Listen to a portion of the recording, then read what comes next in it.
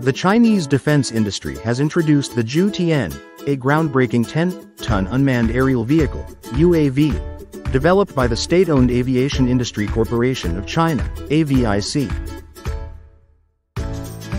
Named after the High Sky, Jiu Tian is designed for advanced, high-tech missions, bringing new capabilities to China's defense portfolio. Also referred to as the sulfur monosulfide UAV, this powerful drone combines innovative design with advanced technology to serve as a multi-role platform in military operations. Jiu Tian's sleek design features a minimal sweep main wing with winglets, an H-shaped tail for extra stability, and a powerful top-mounted jet engine for high thrust and speed. Equipped with electro-optical and infrared cameras, its under-nose sensor turret ensures clear surveillance in diverse weather and lighting conditions.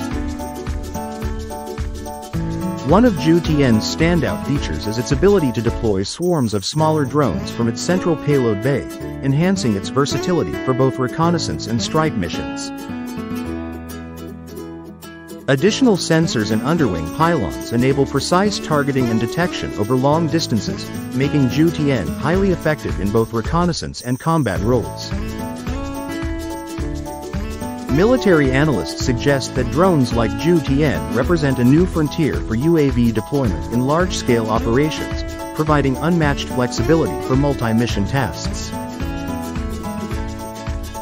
With its ability to launch drone swarms, perform reconnaissance, and execute precision strikes, Jiu Tian is set to transform the battlefield.